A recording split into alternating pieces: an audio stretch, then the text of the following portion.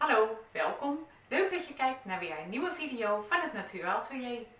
Vandaag gaan we een hoge gegroepeerde schikking maken.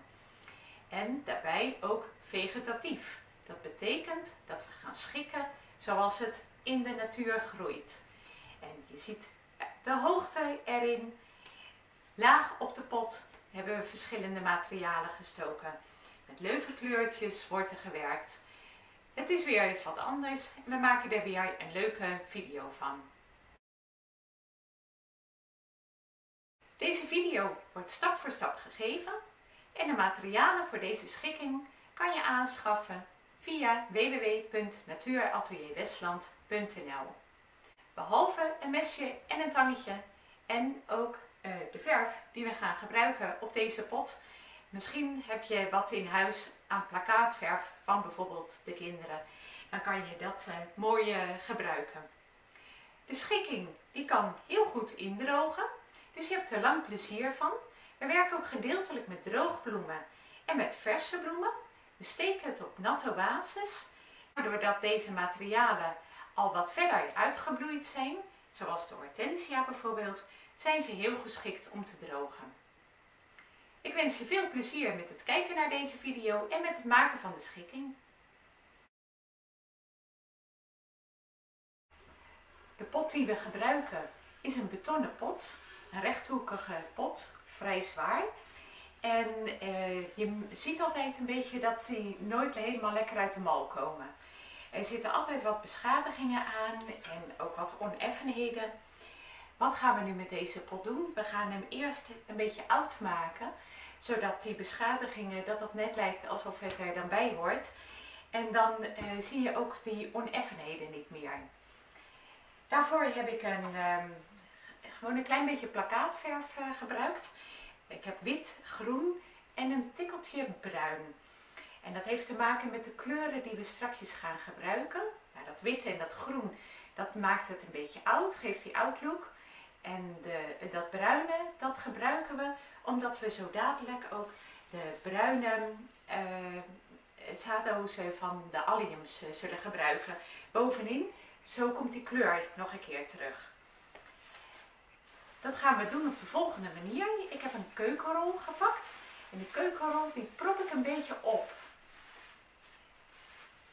Verder die verf, dat mengen we een klein beetje door elkaar.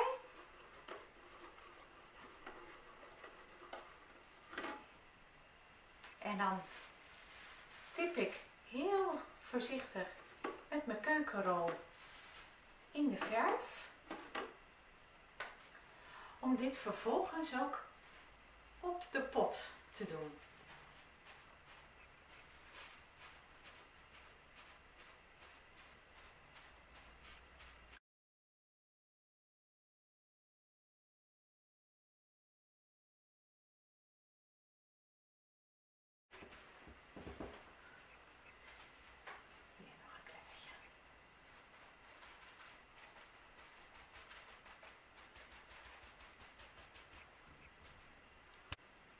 Omdat de verf vrij dun aangebracht is, kunnen we al vrij snel weer beginnen met het maken van de schikking. En dan starten we met het oasis in de pot doen. Ik gebruik vandaag twee blokken oasis die we rechtop gaan zetten. Ik twijfel of de pot waterdicht is. Meestal als deze massief gebakken is en ook echt helemaal gesloten is op de bodem, dat het een hele vlakke onderkant is, kan je er bijna wel van uitgaan dat die niet waterdicht is. Dus voor de zekerheid doen we plastic in deze pot. Want als je het oasis water gaat geven, wil je niet dat dat gaat doorslaan en dat je een schimmelplek krijgt op je tafel.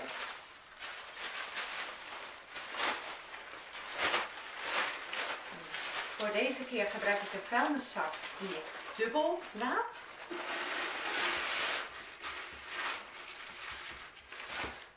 En de twee blokken oasis worden er rechtop ingeplaatst.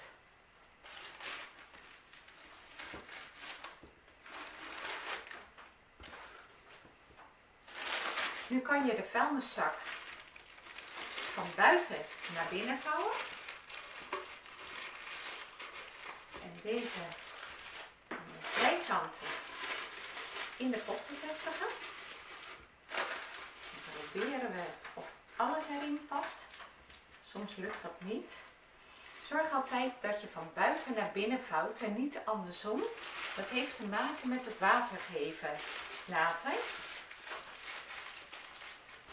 Nou, dit wordt een beetje een propje, dus hier knip ik wat vanaf. Zodat niet die hele grote lap naar binnen gevouwen hoeft te worden. En ook hier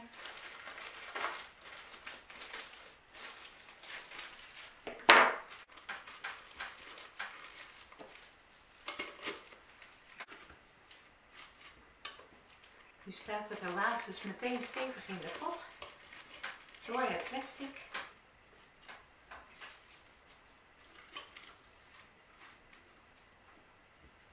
Prima. De schikking bestaat uit hoogte en wat volheid. Het is een wat compactere schikking.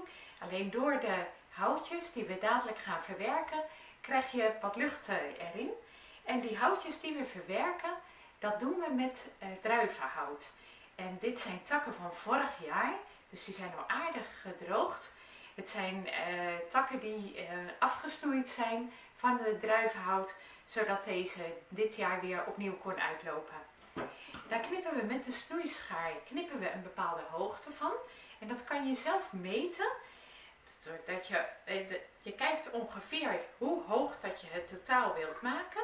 Nou, in dit geval vind ik dit een hele mooie hoogte ongeveer een centimeter of uh, eh, 7 gaat zo'n takje dan in het oasis.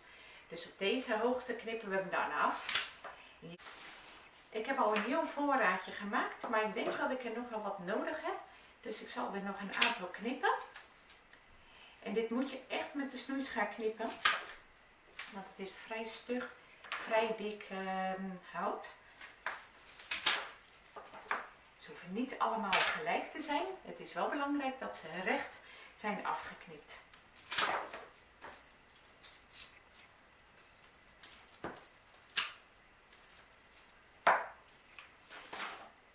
We gaan als het ware een soort van een kronkel maken, een slinger. En die kan je tekenen op je oasis. Met je nagel bijvoorbeeld. Je begint in de ene hoek en je eindigt in de andere hoek. Nog een keer een flauwe bocht wordt het. Aan beide kanten wordt de schikking zichtbaar. Maar zo maken we hem speels. En nu heb ik meteen een lijn uitgezet waar ik deze takjes van de kan steken. En die gaan naast elkaar.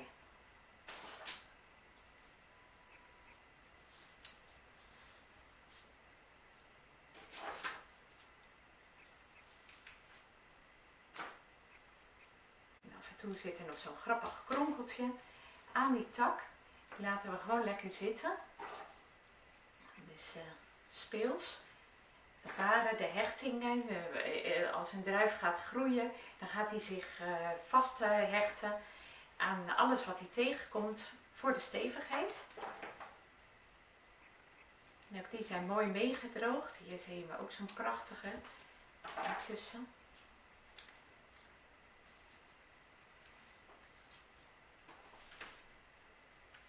als er nu oneffenheden aan de steel zitten van het gedeelte wat in het oasis gaat, dus er zit een takje aan aan de onderkant bijvoorbeeld, dan maken we die even wat glad en dan kunnen we hem weer makkelijker steken.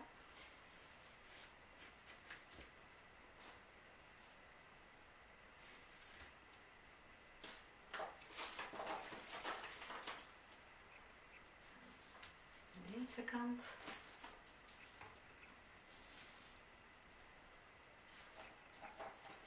laatste takjes, die steken we niet op het oasis, maar die steken we er een beetje half naast. Moeten we even opletten dat we niet tegen het eerste takje aansteken. Waarom zetten we deze stokjes aan de zijkant? Dat heeft te maken met het volume, met het totaalbeeld. De betonnen bak is vrij massief. Als we, het oasis valt wat meer naar binnen. Als we nu alleen maar bovenop blijven, dan valt je stuk wat meer naar binnen. Ten opzichte van het massieve beton is dat eigenlijk een beetje uit verhouding. Dan krijg je iets heel zwaars onderin en wat fijners bovenin, wat bijna in een puntje uitloopt. Dus vandaar dat we een beetje die uitwerking maken aan de zijkant, zodat het één mooi strak geheel eh, wordt. Je kan er hier en daar nog eentje tussen zetten, om de gaatjes een beetje op te vullen. We gaan nu meteen de alliumzee inzetten en die komen wat hoger als de druiventakjes, zodat je echt die mooie ronde zaaddoos of uh, mooie ronde vorm van de voorheen bloem, waar nu allemaal zaadjes in zitten, dat je die kunt zien. De stelen die zijn uh, vrij teer, die heb ik verstevigd met een pook. Hier kan je het goed zien dat er een dikke ijzerdraad in zit, zodat hij goed stevig is en dat hij makkelijk gestoken kan worden. Er zal dus nog een klein stukje van het ijzerdraad af mogen. Dat knip je met een draadtang. En deze gaan we tussen de takjes plaatsen. En probeer te letten dat ze echt verticaal omhoog gaan.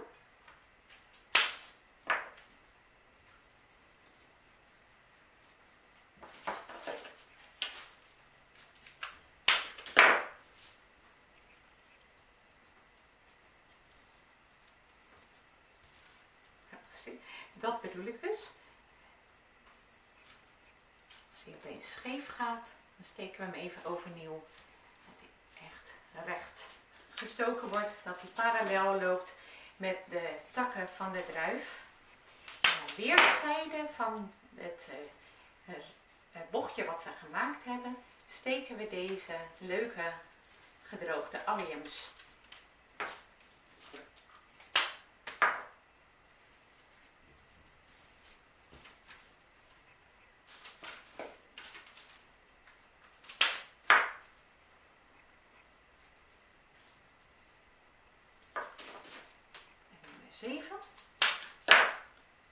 Die mag aan deze kant erbij. Neem af en toe eventjes een afstandje, zodat je kan, kunt zien hoe je bezig bent. Of het een beetje in verhouding is, of het klopt. En uh, dat is in dit geval gaat het helemaal goed. Dan gaan we nu verder met het opvullen van het oasis en we beginnen met de bladmaterialen. Op dit moment van opnemen van de video was er een soort uh, fijn eikenblad beschikbaar. Ik doe mijn best om als je het pakket koopt dat dat er ook bij zit. Maar in een later stadium dan krijg je wat ander blad. Maar dat maakt niet uit. Het is voor hetzelfde effect.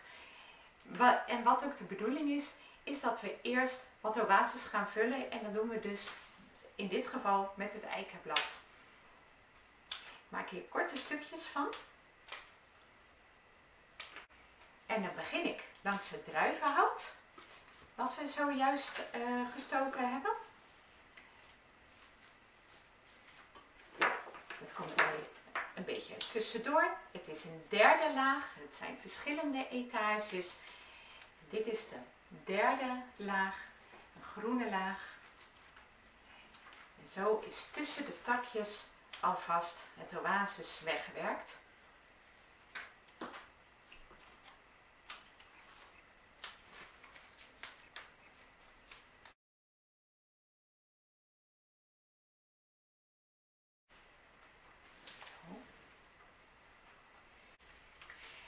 Aspidistra zijn lancetvormige bladeren. En uh, deze mogen met het mesje of met het tangetje, je zag me twijfelen, afgeknipt uh, worden. Dan vervolgens doen we met een mooie buitenkant, de glanzende kant, die blijft aan de buitenkant. En dan steek ik door het uh, blad heen, prik ik het steeltje die ik schuin afgeknipt hebt, zodat ik een lekker steekpuntje heb, steek ik door het blad heen. En dan op deze wijze krijgen we dan een mooie ronding. En die gaan we in het midden steken in het oasis. Twee boven elkaar.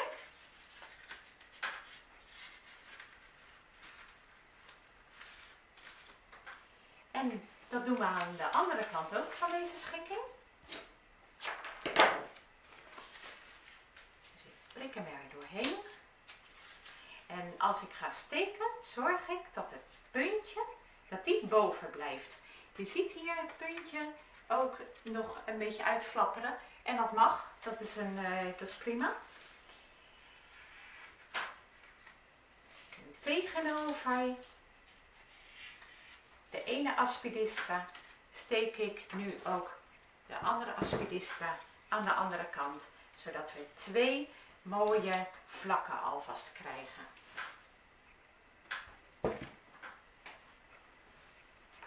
Vervolgens gebruik ik de hortensia koppen. Deze zijn mooi compact. Ik hoef er niets uh, aan te doen, niet op een draadje te zetten. We gaan ze ook niet splitsen. We houden hem in zijn geheel. Deze knip je ook schuin af. Je verwijdert de oneffenheden. En je plaatst je hortensia naast je aspidistra. Zodat ze mooi het vlak dicht maken. En aan deze kant plaats ik ook de hortensia. En je ziet dat ik ze nu schuin tegenover elkaar doe.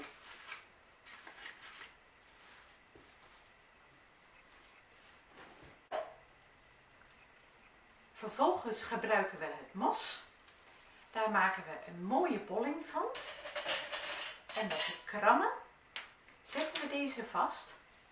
Ik zal ik nog even draaien, hier zit nog een heel groot vlak. Daar plaats ik nu het mos op. En dan prik ik de krammen aan de zijkant in deze bol met mos. Niet in het midden, dan krijg je een deuk in je mos. En je ziet ook dat krammetje. Zo, een stuk of vijf krammen. Ik zet er nog één voor de zekerheid bovenop. Omdat het een vrij grote bolling is. En dat doen we ook aan de andere kant. Het is een hele zware pot hoor. ook weer die bolling maken we.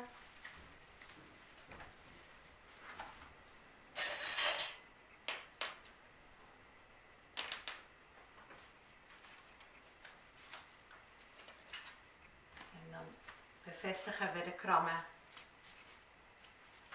in de tweede bol met mos.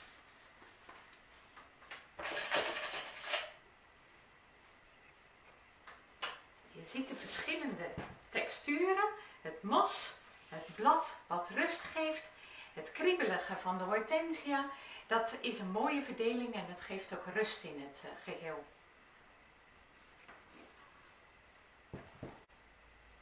Aan de zijkant van de schikking gaan we de zaaddozen gebruiken van de agapanthus. Die komen er aan twee kanten, zullen we ze gaan steken. Deze zaaddoos, daar kijk je doorheen. Het is een open uh, iets. Dat werkt geen, uh, niet voldoende oasis weg. Daarom gebruiken we nog het extra blad wat we hebben. Om hier eerst deze ruimte op te vullen. En dan kunnen we zo dadelijk die uh, agapanthus sado's er tussendoor steken. Let erop dat je de blaadjes, de takjes kort houdt. Dit is alleen maar een basisopvulling. En het effect willen we namelijk bereiken met de agapanthus.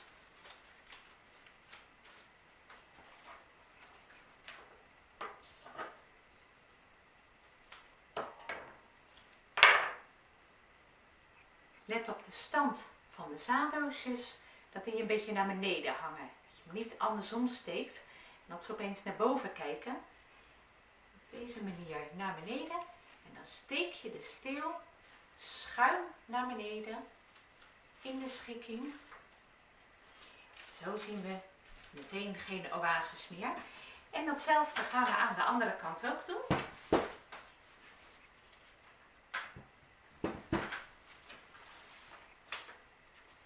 We knippen kleine toefjes en een lang takje kan ik ook splitsen door de hoofdsteel door midden te knippen.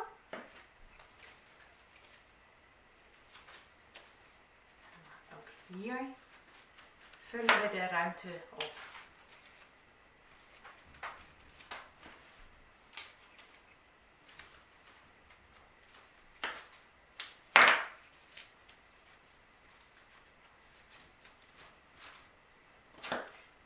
Eén klein takje. Hier in het hoekje. En aangepand is nummer 2. Ze staan toch allemaal een beetje dezelfde kant op. Dat zie je bij iedere bloem, iedere zaaddoos. Nou, daar maken we gebruik van. Die mag ook weer naar beneden hangen. Nou, een grappig gezicht krijgen we zo. zo. Vervolgens steken we nog twee rozen in de schikking. Prachtige volle rozen. En eh, die geven de kleur bij het mos en het blad. We hebben de kleur van de hortensia, maar er mag ook nog wel een ander kleurtje bij. Een extra kleurtje, dat doen we met de roos. Je kan hem schuin aansnijden of je knipt hem af, schuin. Want alle blaadjes haal je van deze roos af. En dan zoeken we even naar een plekje, zodat je hem echt goed in het oase steekt.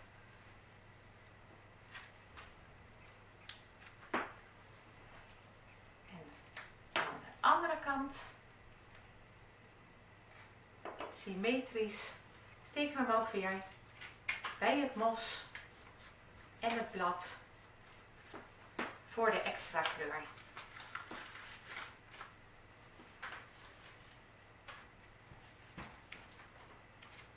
Nu is de schikking bijna af. Hij mag nog wel een klein beetje speelsigheid eh, krijgen. En dat doen we onder andere door de tarwe die uh, in het uh, pakket zitten.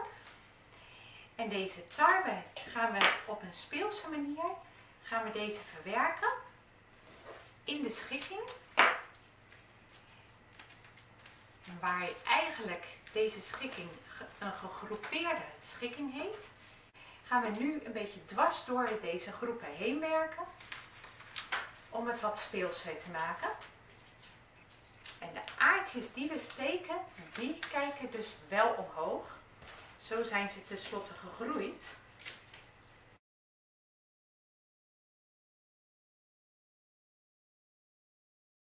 En als laatste heb ik nog een klein beetje tilantia. Dat we langs de pot laten lopen. Zet hem voor de zekerheid vast met een krammetje deze kant gebruiken we het ook nog een keer. Dan worden het stuk en de pot, de grens ertussen vervaagt daardoor door de tilantia. En dan krijg je mooi ingeel. De nazomerschikking is klaar. Leuke materialen, gedroogd en materialen die in kunnen drogen. Nou, hier heb je vast een poosje plezier van. Nog een tip, geef hem nog één keer water, een heel klein beetje, want er zit al genoeg water in het oasis. Dat mag gaan verdampen. Maar voor de hortensia en de roos is het wel gewenst dat ze nog één keer een klein beetje water krijgen. Neem de tuit van de gieter en dan giet op het oasis tussen de houtjes bij elkaar ongeveer een half kopje water, dan is het voldoende. Zorg dat je schikking niet in de zon komt staan. Dan verkleurt hij heel snel.